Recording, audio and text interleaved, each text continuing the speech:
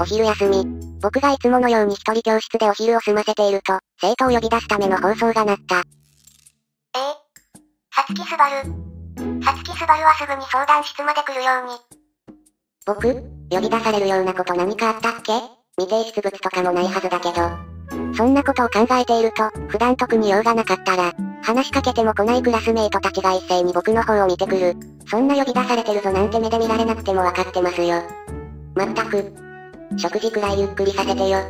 僕は心の中で悪態をつきながら一通り机の上を片付け、呼び出しのあった相談室へ向かう。さつきすばるです。どうぞ。失礼します。お待ちしてました、さつきすばるくん。この学校の相談室にはシスターがいる。俗に言うシスターなのかは知らないけど、この学校の生徒はこの人を親しみを込めてシスターさんと呼んでいる。さあ、かけてください。さつきすばるくんは紅茶飲めますか？はい。ふ。なんで呼び出されたか気になるってお顔してますね。ええまあ。相談室に来るようも、呼び出されるような心当たりも僕にはありませんから。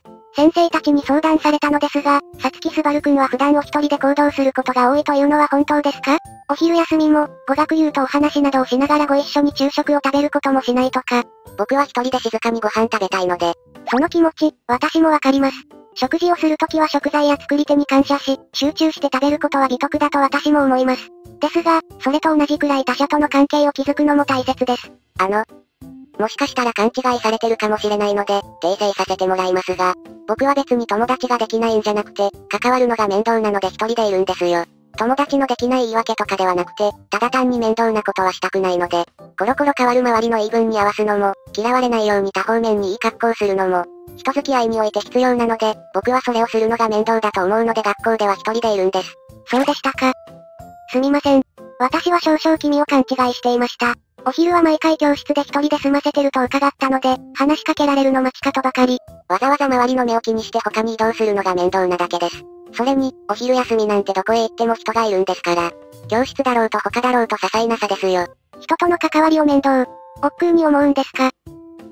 それでしたら、私で人になれましょう。は？ですから、私で人にですね。いやいや、聞こえなかったんじゃなくてですね。なんでそうなるんですか？僕は別に人見知りとかコミュ障ってわけでもないんですから。ええ私もそう思います。君は普通。よりも弁が立つ方だと、ほとんど初対面の年上の私に対し、物おじせずに自分の意見を話せているんですから。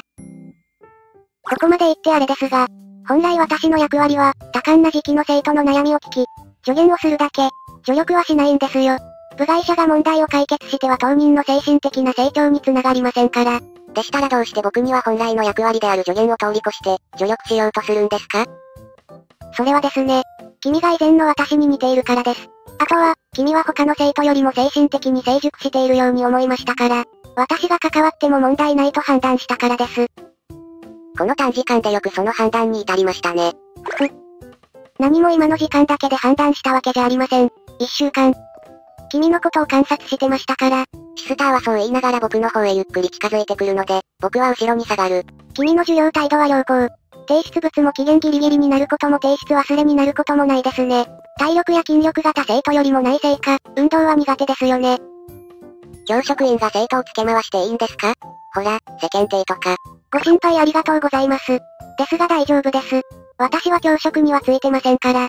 一応、教員免許自体は持ってますが、まあ、教師じゃなくとも、シスターの格好をした者が、男子高校生を校内で付け回したのには変わりませんが。どうしますか？さつきすばるくん。君は私の提案を受け入れるか？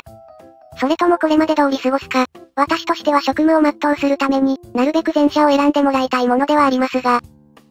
僕の利点がないことにどう賛成しろと言うんですか？利点。利点ですか？それもそうですね。私は私の職務を全うしたい。それに似合うだけの理由が君にもいるのは確かですね。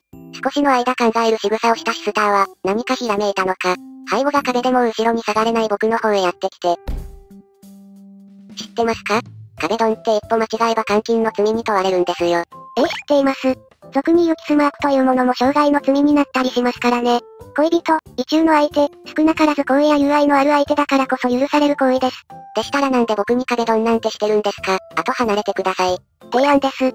私に職務を全うさせてくださるのであれば、さつきすばるくん、君を人になれさせるその期間中、私のことを好きにしていいことを許可しましょう。なら今後一切僕の半径10メートル以内に近づかないでください。それは聞きかねるお願いですね。言ったじゃないですか。私が職務を全うできるのが条件です。はぁ、第一、僕を人に慣れさせるために取る手段というか手法というか方法というかがおかしすぎますって。似たり寄ったりの意味の言葉をよく羅列できますね。というかですね、僕は別に人に慣れてないわけじゃないですって。面倒だから友達を作らないんです。そもそもの前提から間違ってますから。ええそれは重々承知してます。ですが私も職務なので、君がいくら否定しようと、私は与えられた職務を全うするために動くだけです。私は職務を全うできる。君は願望を私にぶつけれる。お互いに利点はこれでできましたね。あたかも僕にあなたにぶつける願望があるみたいな言い方ですね。今はなくともそのうちできますよ。経験者からの言葉です。それよりも、いつまで僕はあなたに壁ドンされてればいいんですかそろそろ解放してくれませんか？君が私の提案に乗ってくださるなら、私も喜んで君を解放しますよ。それこそ本当に監禁になるんだけどなは？ぁ、僕がここで断っても、これから先も後をつけられたり職務職務と言われるより、今ここで折れておいた方がまだマシですね。ご理解いただけたようで何よりです。それでは、今日はこの辺りで、また明日もこの時間ここに来てください。私の方は時間を空けておきますので、の前に、僕はシスターの名前を知らないんですが、それくらい教えてくれませんか？私の名前ですか？私の名前はアメリアです。呼びづらければシスター。それか昔に呼ばれていた愛称のエイミーなどと呼んでください。エイミー。わかりました。アメリアさん。僕の方もいちいちフルネームで呼ばなくていいです。名字か下の名前で呼んでもらえれば反応できますので。それでしたら、スバルくん、で、よろしいですか？まあ、はい。その日の夕方、僕が教室で帰り支度をしていると、今お帰りですか？スバルくん。どこから出てきたんですか？びっくりするのでやめてくださいよ。アメリアさん。ふ、戯れにと思いまして、それよりも、部活動をしていないのに随分と帰るのが遅いんですね。課題を先に終わらせておいただけですよ。帰りに職員室によってあらかじめ提出しておけば明日忘れることもないですし。おお、それは賢いですね。私も学生時代そうしていればよかったですね。それで？一体何の用ですか？アメリアさんは結構多忙って話を聞きますから、この時間も相談室にこもりっきりだと思ってましたが、案外他の先生方と違って、シスターは残業なかったりするんですか？いえいえ、私も他の先生方と同じでこの後も夜遅くまで残業の予定です。ただ、今はそれよりも君を優先しようかと。アメリアさんはそう言いながら服の上から指を僕の背中に這わせる。何するんですか？いえ。すみません。君を観察してた間も思いましたが、随分と華奢だなと思いまして、身長も確か、148センチでしたか。随分と他生徒と差がありますし、案外、飛び級の小中学生だったりと妄想してただけですよ。それなら残念ですが、僕は高校生になっても150もないただの低身長ですよ。失礼。身長の話をすれば感情的になるスバルくんが見れると思い、失礼を承知でわざと言っていたのですが、スバルくんは身長の話をしても感情的にはならないんですね。